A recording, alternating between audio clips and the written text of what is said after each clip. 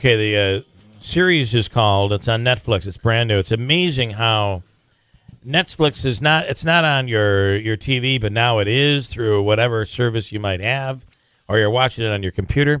But it's amazing.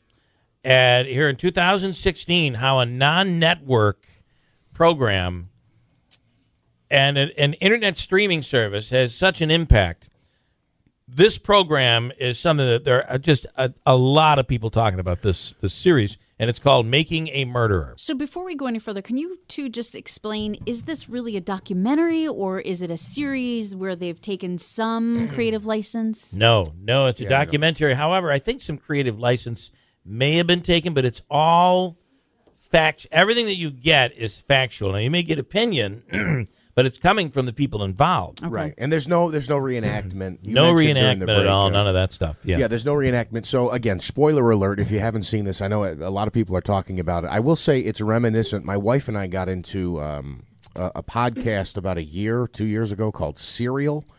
Um, it, it's kind of reminiscent of that. Okay, so here's my. I do have some criticism for this. Well, first of all, we have to set it up. Okay, okay, go ahead. So the situation is the guy. His name is Steven Avery, mm-hmm. and when he was 18 years old, he got into. This is a troublemaker. He was in trouble. He he got into stuff. He uh, at one point there might have been a story where he did something deviant, move an action that was uh, torturing a cat um, him and a group of kids. Uh, maybe that something had happened, the cat caught on fire or something. So this is somebody that, that people have looked at, authorities have looked at as being a real troublemaker. The yeah. family is also a uh, very uneducated, poor family that they run a uh, they run a junkyard, and the this uh, Steven Avery, um, the he uh, again poor, uneducated um, He's an easy target. Lack of what I think is a uh, is easy target. Lack of intelligence. Yeah. Beyond education, a lack of intelligence.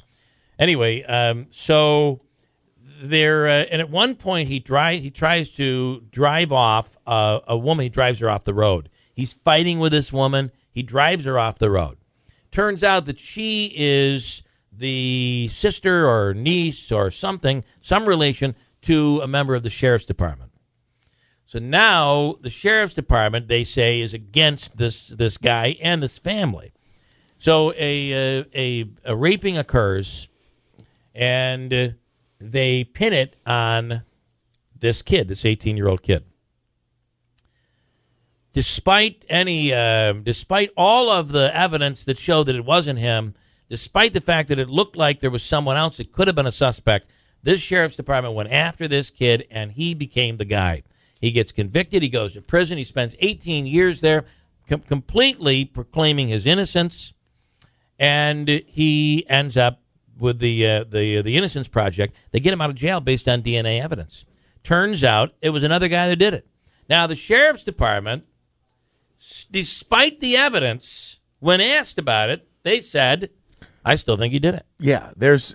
I still, I don't care. I don't think the D, I think the DNA DNA evidence is wrong. In watching it, he did it, there are points where your blood just boils. It's yeah. very infuriating. As you much know, of you know a he's redneck innocent. as this kid is, yeah. You look at some of these members of the sheriff's department, and you feel the same way. The lack of intelligence there and is really is staggering. It's in Wisconsin. Yeah. So now he gets out of jail, and he's a hero. Even the woman who was raped comes and hugs him and uh, apologizes. Uh, it was all done. You know how we see things in the media, and we're able to really create our uh, create. The, there's no reason for a jury, right? Why have a trial when we try people right through the uh, right in the media? Now, amazingly, as this is unfolding, he's out, and there's this whole question of how much money he's owed for the wrongful conviction. There's lawsuits, etc.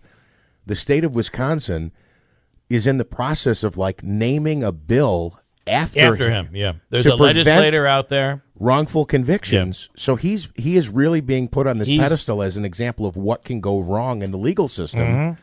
He's kind of like a hero of the legal system and of many. And as they're on like they're on the verge of signing this bill, and the documentary is following all of this, which is closing the case basically, and probably closing the documentary as they're in the midst of this whole thing there's a murder.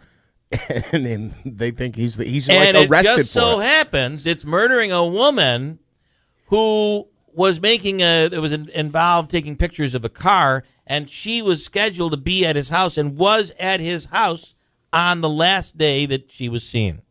So eight days go by and they have no evidence. They've gone in they've searched the house they've taken over the property for eight days. Um, they can't find nothing they find nothing so on the eighth day, all of a sudden they find miraculously, right out in the open, the the RAV4 keys. It's incredible. How It did is. this happen? Well, you know the the belief from the defense attorneys. Well, it's not incredible. They were planted there, and then there were drops of blood placed in the car, and then they find that they had a bonfire on Halloween, and the bones of this woman's body, they believe, are in the uh, the ashes of the bonfire. Then they find a nephew that lives nearby. They say maybe he had something to do with it. They interrogate him to the point where every time he says, "I didn't have anything to do with it," and and he's this kid is probably about the intelligence of a of a five year old. They said he had a borderline IQ. It was like right around seventy. Yeah, terrible. So the kid, they they keep saying to the kid, "Well, listen, you get to go home with your mom if you just tell us what really happened. I mean, you really did it, right? I mean, you were involved. Did you do something?" So by the end of this thing, they've got the kid. The kid uh, is a part of the murder. They've got her her roped up in the building. They've raped her. They've shot her. They've killed her. Meanwhile, there's no physical evidence of any of this. No blood splatter. Nothing they have this kid confessing and when you watch the confession and by the way you get to watch it all or at least major Yeah. parts of it Yeah. it it is clear that they just walked this kid into this confession. Absolutely. and everybody is just buying it. And he has a crappy attorney. They end up this kid ends up well, i don't want to tell anymore but it is it's an unbelievably riveting series that will make you stand on your feet in, in your own living room and say what is going on in this world right i I- mean you I did said you literally did it I, I literally did that. I think at least three times where I just I was so like I had to get up from the couch and like go out and have a cigarette. I was so angry, yeah at what was going on. and when Um, you watch this you will be infuriated now what are your criticisms I do have a criticism in in that we you know we talk about Netflix and the technology that's this can have such an impact when it's only available on the internet. You know, the the other side of that is I, I don't think you can take it's an it's a basically an hour each episode. I don't think you can take ten hours to tell this story because a couple of times I just wanted to Google the guy's name and find out what happened. Right. But you didn't now, want to, you didn't want to lose the Right. You didn't want to be the spoil uh, have a spoiler out of this. The other thing is that's ultimately what happened. I got seven episodes in, and then a good friend of mine on Facebook put up his whole Yeah, rant about yeah. how upset he was, you know, and he kind of spilled the beans. And, and frankly, you know, we, we did say spoiler alert. I mean, yeah, we, I think we've painted the picture here. This guy goes to jail, you Yeah. know, for And it's worse than that, though. It gets worse than that uh, when it involves the young boy, this 16 year old kid. I mean, I, I can't even believe what in the hell is going on out there. Now, the uh, the prosecutor's saying, well, a lot of the physical evidence, you didn't, they didn't even talk. They left stuff out in the documentary. They're trying to, they're trying to sway you. It's not true. Well, uh, yeah, of course he's going to say that. I just, I couldn't stand this prosecutor. I hated this guy. same way here. yeah. Um, and The way they did the press conferences, they did a press conference, you know, and we've talked to, you know, uh, for instance, Scott McNamara, and he will tell you, listen, there's things I can't get into, there's Yeah. things I can't say. they this is talked about stuff I couldn't believe they, they let out. After they, I'm going to say, I'm going to say after they coerce, I'm going to use that word, after they coerce a confession from this teenager who has a borderline intelligence, it's, embarrassing. definitely it's embarrassing. It, he is me, he is a mental midget. If there was ever a situation where you describe someone as that, that's what you would describe this kid as. So- he did not understand what he was doing. they come out and and in their defense there's a, there's a real emotional element but they're almost in tears law enforcement is almost in tears in retelling this story but I, I mean they force fed the kid Yeah. this confession there's at one point where they're going we know something happened to head to the head what happened to the head and he Yeah. goes A uh, gunshot. he punched her Yeah. no no but something else happened Come on, come on! You know it. You're gonna get to go home if you tell this. Uh, come on, What a- come So he's just throwing out this stuff. they cut we cut her hair oh, okay okay well what else did Yeah. you do to the head Uh, I don't know. What? No, no, something else happened to the head. Come on, I want to know what happened That to the is head. what Tell this us what happened to the head. interrogation was like. Uh, he kicked. He kicked her in the Yeah. head. Okay, he kicked her in the head. Okay, now what else happened? What, and at one point, this is the most egregious part. The kid has no idea where he's going. The other uh, investigator in the background goes, "He shot her in the head. Tell us he shot her in the head." And he goes, "Uh," and then then then it becomes, "You know, did you shoot her in the head? Did you shoot her in the head?" Yeah. Uh, yeah, yeah, we shot her. So I, I'm. It is amazing, and the the biggest defense that the prosecution had in this was saying, "Are you kidding me? Are you expecting us to believe that a that a sheriff's deputy who puts their lives on the line every single day would, without any evidence, you have no evidence, would plant this evidence?" Now, meanwhile, the prosecution has no evidence. So if if you can say that this guy could do it without any based on circumstantial evidence, why isn't it possible that a dirty cop could could exist? It almost as if they were saying that that's impossible for someone, a human being, who just so happens to become a, a in law enforcement, could do something wrong.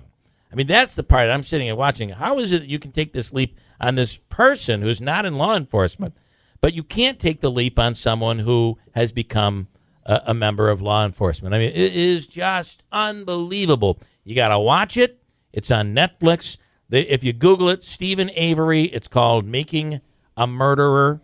And episode one is available online for free. You don't even have to have a, a, Nets, a Netflix subscription, but it's unbelievable. Now, we'll take that, table it, because I don't want to give away any more.